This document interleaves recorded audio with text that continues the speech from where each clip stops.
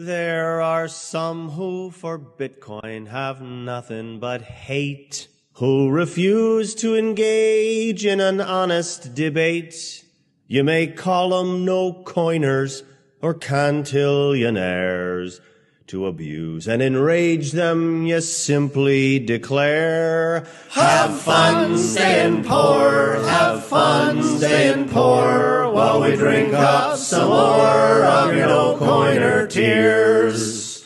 When they say folks use Bitcoin to buy sex or drugs, and the terrorists treasure it for paying their thugs. Oh, the currency's dirty. It's just used for crime.